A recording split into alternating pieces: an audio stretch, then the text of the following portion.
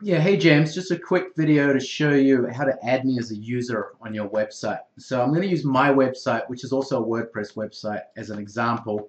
Um, you go to your login screen, put in your information, and then just log in. Um, once you log in, then you're going to be able to go ahead and down the left hand side, you should have um, where it says users. And then just go add new. And then from there, just username, just put in, um, you know, whatever you want for me. Um, Aaron, and then my email address, and then just set a password.